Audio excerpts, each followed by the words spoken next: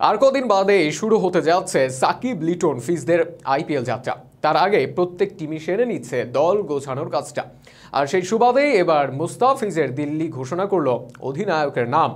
ইতিমধ্যে ঋষভকে হারিয়ে তার জায়গায় অধিনায়ক বেছে ফেললেন সৌরভের দল। ঋষভের জায়গায় সেই গুরু ভারটা পড়ছে ফিজের প্রিয়জন অজি তারকা ডেভিড ওয়ার্নারের কাঁধে। শুধু তাই নয়, অধিনায়কের সাথে সহ অধিনায়কের নামও ঘোষণা করে দিল দিল্লি। নিজেদের আইপিএল যাত্রা শুরুর প্রায় এক মাস আগে দিল্লি এমন সব সিদ্ধান্তের অংশ নিয়ে বিস্তারিত থাকছে প্রতিবেদনে।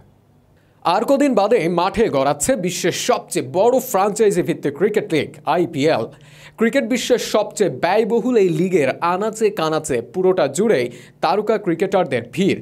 তার ব্যতিক্রম হচ্ছে না এবারও, যার সুবাদে এবারের আসরের সুযোগ মিলেছে ফিজ সাকিব লিটনদেরও। আর সেই লক্ষ্যেই এবার দল সাজানো শুরু করে দিয়েছে ফিজের দিল্লি। ও অধিনায়ক সহ দলের গুরুত্বপূর্ণ সব সিদ্ধান্ত এখনও নিচ্ছেন সৌরভরা। তবে সেই বাছাইয়ে বেশ বেগ পেতে হচ্ছে তাদের। কেননা এতদিন যাব দলটির নেতৃত্ব দিয়ে আসা পান্তের এখন বেহাল দশা। সড়ক দুর্ঘটনায় গুরুতর আহত ঋষভ পান্তের পক্ষে এবারের আইপিএল খেলা আর সম্ভব না। আর তাই আসন্ন মৌসুমে টাইগার পেসার মুস্তাফিজুর রহমানের দিল্লি ক্যাপিটালসের নেতৃত্বের বাটন কার হাতে উঠছে তা নিয়ে ছিল জল্পনা কল্পনা একই সাথে এই ইস্যুতে দলটিকে পড়তে হয়েছে নতুন সমস্যাতেও। তবে অবশেষে জানা গেছে, নিয়মিত অধিনায়ক পান্থের জায়গায় নেতৃত্ব উঠছে কার কাঁধে সেই বিষয়ে।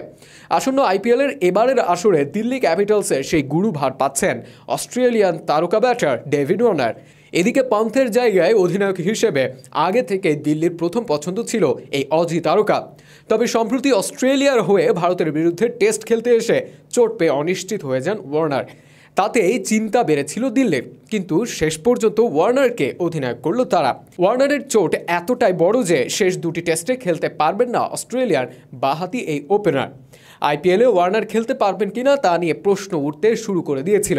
যদিও অস্ট্রেলিয়ার একদিনের সিরিজ রয়েছে ভারতের বিরুদ্ধে।